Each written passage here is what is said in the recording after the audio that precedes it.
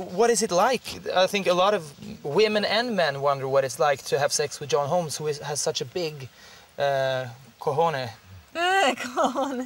Is it? Uh, Eh, Roberta, vieni vicino. E, praticamente lui domanda ma che tipo di piacere po- eh, potrei avere, mh, insomma, an- domanda anche per te, se qualcuno ha una cosa così grande. Allora, tu cosa ne pensi?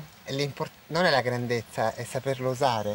It's not important the length, Anch'io but the, la cap- stessa maniera. but the capacity to use it, how to, how you use it. It doesn't matter if you have a very big cock. It matters if you can use it well. How was John Holmes as a lover?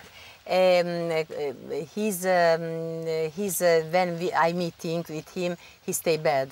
Bad, Ah. bad salute, come si dice? Health. Bad He was health. sick.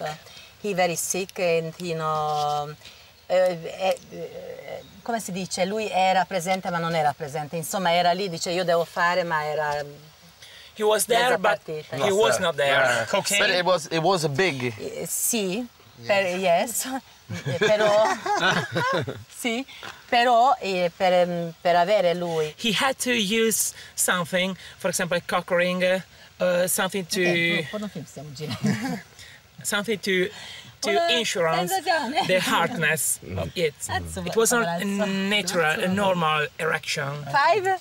five, everybody five. Non forte, non forte, Roberta? non forte, no! Ja, ah, vi återkommer i någon ny miljö tror jag. Ja, någon ny miljö. Tjena! Shut up.